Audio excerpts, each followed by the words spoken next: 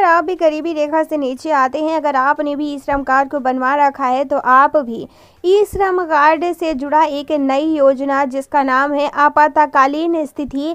जी हाँ दोस्तों, आप इस योजना का लाभ भी भरपूर मात्रा में उठा सकते हैं। जी हाँ दोस्तों, आज सुबह ही प्रधानमंत्री द्वारा इस बात का ऐलान किया जा चुका है कि आप ई श्रम कार्ड से इस योजना का लाभ भरपूर मात्रा में उठा सकते हैं। आखिर ये योजना क्या है और आप इस योजना का लाभ किस प्रकार से उठा सकते हैं? आज की इस वीडियो में आपको संपूर्ण जानकारी दी जाएगी। उसके लिए आप हमारे साथ इस वीडियो का एंड तक बने रहिएगा और साथ ही अगर आप चैनल पर नए हैं तो चैनल को सब्सक्राइब कर। बगल के बेल आइकन को प्रेस कर लीजिएगा। इस चैनल पर दी जाने वाली सभी जानकारियाँ बिल्कुल मुफ़्त हैं। आपको बता दें कि ई श्रम कार्ड अगर आपने बनवा रखा है तो आपको हर महीने तीस हज़ार रुपए तक आपातकालीन स्थिति के लिए मुहैया कराया जाएगा। जी हाँ दोस्तों, इसके बारे में संपूर्ण जानकारी आपको दी जाएगी इसी वीडियो में। आप हमारे साथ इस वीडियो का अंत तक बने रहिएगा। दोस्तों, आपको बता दें कि इस योजना को गरीब मजदूर और किसान भाइयों के लिए जारी किया गया है। अगर आप किसी कारणवश किसी परेशानी में आ जाते हैं या फिर आपको एकदम से इन पैसों की ज़रूरत पड़ती है तो आप सिर्फ़ और सिर्फ़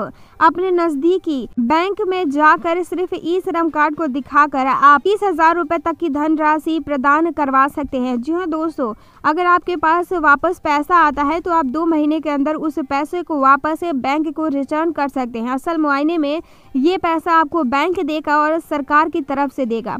पर शर्त यह है कि आपको वो दो महीने के अंदर पैसे जमा करवाने होंगे। दोस्तों, इस योजना को जोड़कर कहीं ना कहीं मोदी सरकार ने जनता और गरीब मजदूरों के लिए बहुत ही बड़ा सहारे का काम किया है, क्योंकि कई बार ऐसा मौका आता है जब हमें पैसों की सख्त ज़रूरत होती है और उस वक्त हमारे पास पैसा नहीं होता है और हम इधर उधर डर डर की ठोकरें खाने पर मजबूर हो जाते हैं। दोस्तों, इस योजना को ई श्रम कार्ड के साथ जोड़ा जाना चाहिए या नहीं, आप इस योजना से कितने खुश हैं, कमेंट के ज़रिए अपनी राय शेयर ज़रूर कर दीजिएगा। और साथ ही कार्य योजनाओं से जुड़ी ऐसी ही ताज़ा तरीन खबरों को लगातार देखने के लिए हमारे चैनल को सब्सक्राइब कर लीजिएगा। सब्सक्राइब करने के आपको किसी भी तरीके का अतिरिक्त शुल्क देने की, आपका कीमती समय देने के लिए हमें धन्यवाद।